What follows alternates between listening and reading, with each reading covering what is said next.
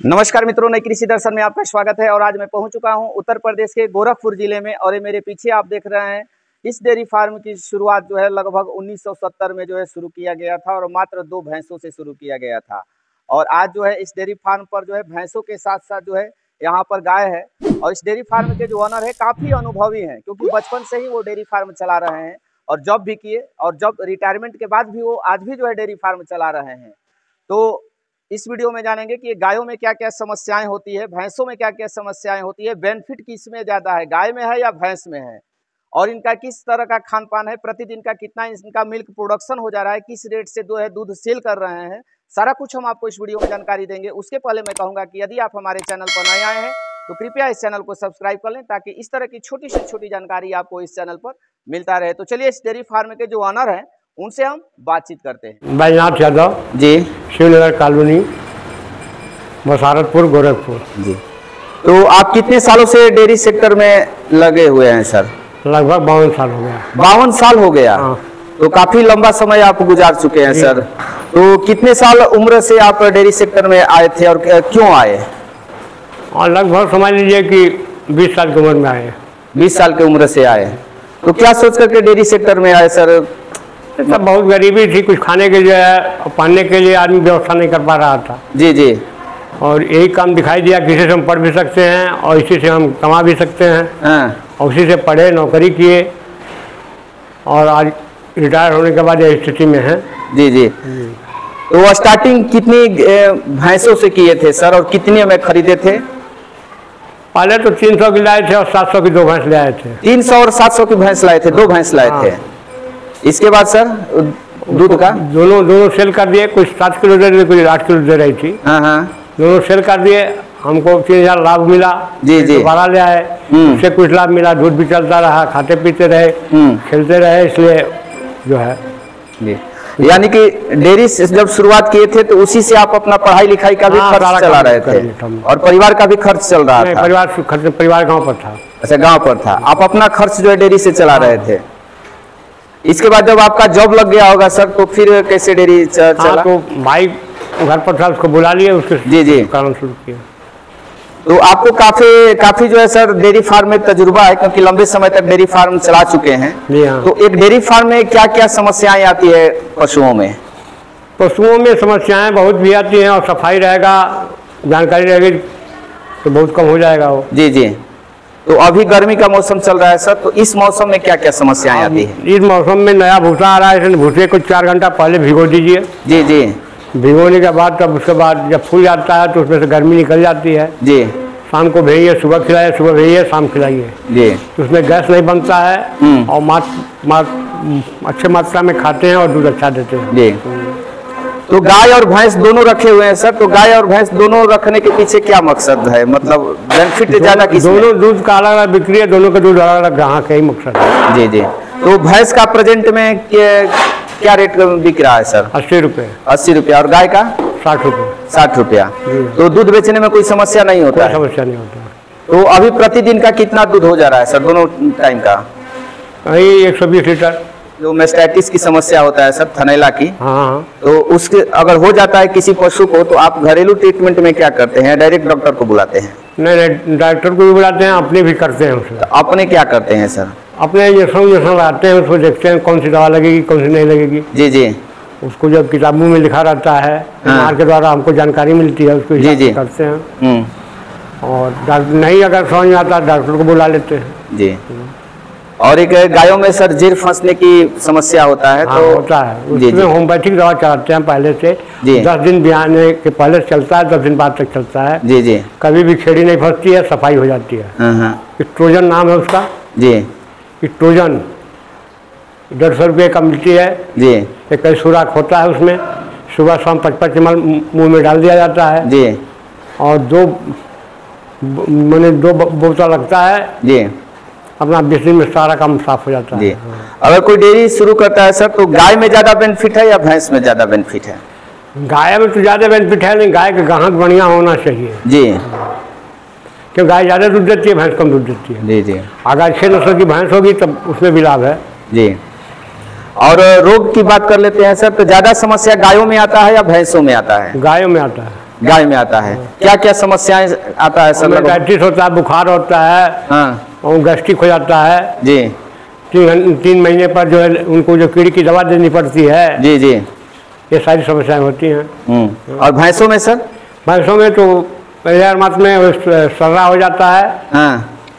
और देख रेख बढ़िया रहे तो उन्हें होता ही नहीं बहुत कम होता है। जी जी। और खान पान का अच्छे से ध्यान रखें तीन महीना पर कीड़ी की दवा एक महीना पर बच्चे की दवा देते रहिए। जी। कोई समस्या नहीं है। और एक जो सरा जो बीमारी बता रहे हैं सर इसमें हम देखे हैं कि कई सारी गाय गाय हो या भैंस हो इसकी जान भी चली जाती है। हाँ चलिए हमारी गाय भैंस एक के मर गई थी इसी में। जी तो शुरुआत में कैसे पहचानेंगे सर कि इस गाय या भैंस को सर्रा हुआ है? उसके कई पहचान है जुगाली नहीं करेगी आँख से पानी गिरेगा जी। हैं आँख लाल हो जाएगी जी। और उसका हाथ मारने पर जो है वो अपना आँख बंद नहीं करेगी खोलेगी नहीं खुली खुली रहेगी बंद बंद हो जाएगी। हाँ। पतला गोबर करती है। उठती बैठती है जी। फेंकती तमाम दस बारह उसको लक्षण है। लक्षण है। हम्म, बुखार जाते हो जाता है। और एक मिल्क फीवर होता है सर जो बच्चा देने के समय जो है हाँ। गायों में या भैंसों में होता है। दूध निकालते बच्चा जैसे दूध दिया है हाँ हाँ। तो दूध थोड़ा थोड़ा तीन बार में निकाले दिन भर में। जी जी। अगर दूध एक बार में निकाल देंगे तो कैल्शियम निकल जाएगा जी। उसको मिल्क फीवर हो जाएगा। जी। यानी कि थोड़ा थोड़ा करके ही दूध निकालना चाहिए। एकाएक नहीं निकालना चाहिए। नहीं और कई जगह गाँव में हम लोग देखे हैं सर कि गाय या भैंस हो बच्चा दे देती है तो जब तक जेर नहीं गिराती है तब तक लोग जो है बच्चे को दूध नहीं पिलाते हैं तो आप क्या करते हैं? ऐसा नहीं है। जी। तो जेल का गिरने का मतलब कुछ और है। जी। और बच्चे का दूध पीने का कुछ मतलब और है। जी। कोशिश ये किया जाता है कि जेरिया गिराने की सफ़ाई करके तब उसको दूध पिलाया जाए। जी। लेकिन अगर जेट बारह घंटे के अंदर नहीं गिरती है हाँ हाँ। तो दूध तो निकालना ही पड़ेगा बच्चा को पिलाना ही पड़ेगा। बच्चा क्या। पिएगा तो बच्चा देने के कितने देर के बाद जो है बच्चे को माँ का दूध पिला देना चाहिए? जेल यही गिरा देते यही पिया जाता है। जैसे जेल गिरा दी धुलाई करके पिलाई जाएगा।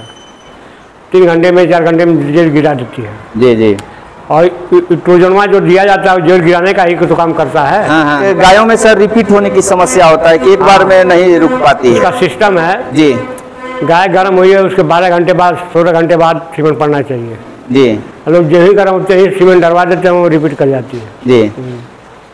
और भैंस को भैंस को सर कितने घंटे के हाँ बाद? वही वही ऊपर ही लागू होता है। बारह घंटे के बाद ही। बारह घंटे के बाद सोलह घंटे के बाद जी जी। दूसरे दिन सीमेंट पड़ता है। आज अगर गर्म है कल सीमेंट पड़ेगा। जी। तो भैंस सर रिपीट करती है ज़्यादा की गाय? जब समय से आप उसको सीमेंट डलवाएँगे तो एक को नहीं रिपीट करेंगे सीमेंट डलवाएँगे सब रिपीट करेंगे? जी जी। हाँ। यानी कि समय खान पान पर भी कुछ डिपेंड करता है सर कि खान पान भी सही नहीं रहता तो कुछ नहीं है। जी। वो समय का वही उसका व्याकरण है उसमें। जी जी। तो स्टार्टिंग से ही यही आपका डेयरी फार्म था सर कि कहीं और था? नहीं इससे पहले जब बहुत पहले रेलवे कॉलोनी में थे। जी जी। हाँ, यहाँ तो हम जानते हैं हो गए चालीस साल हो गए लगभग। जी।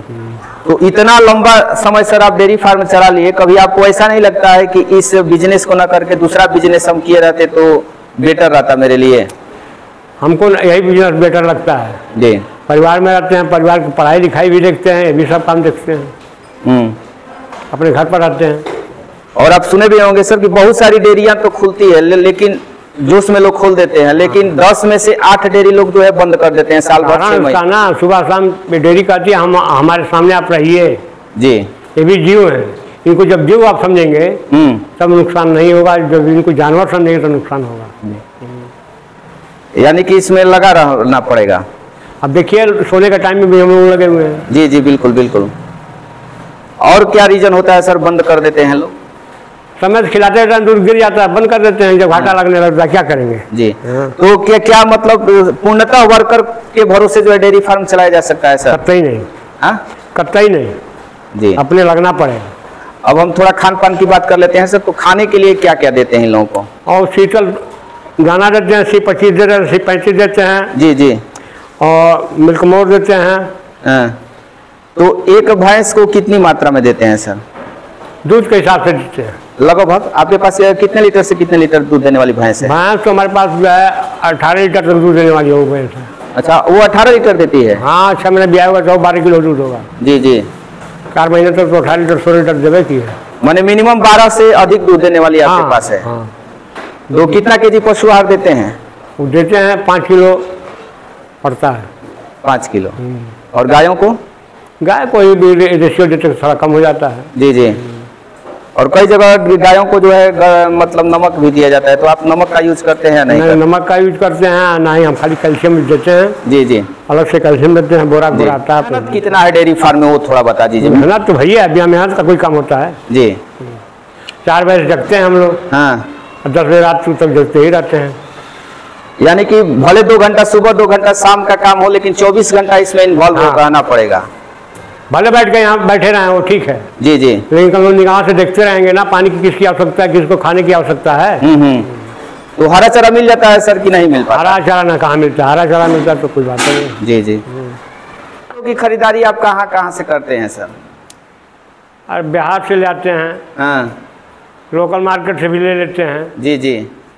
या कोई पंजाब उंजाब से लाया उससे खरीद लिया जाता है। और गाय गाय सर? गाय तो करीब करीब अपने घर के हैं। घर के ही हैं सारे बच्चे। हैं बहुत बछिया बेच देते हैं ना। जी जी। अगर कोई युवा सर डेयरी फार्म की शुरुआत करना चाहता है तो कैसे करना चाहिए सर कि लंबे समय तक वो चला सके? अरे भाई तो कहीं उसको ट्रेनिंग तो देना ही चाहिए। जी जी। कम से कम नहीं कुछ तो दो महीना जब जाएगा आएगा समझेगा बुझेगा तभी ना हो पाएगा। जी जी। और कितनी पशुओं से शुरू करना चाहिए सर लगभग? अब उसकी कैपेसिटी कितने पशु रखने की है? तो जितना- करता है ना। तो जितना उसके पास पूंजी है सारा लगा देना चाहिए बाइक सारा नहीं हाफ़ लगाना चाहिए। आधा लगा देना चाहिए आधा बाइक सपोर्ट में रखना हाँ। चाहिए। तो चलिए काफ़ी अच्छी जानकारी सर आप हमारे दर्शकों के साथ अपना अनुभव साझा किए इसके लिए आपको बहुत बहुत धन्यवाद सर।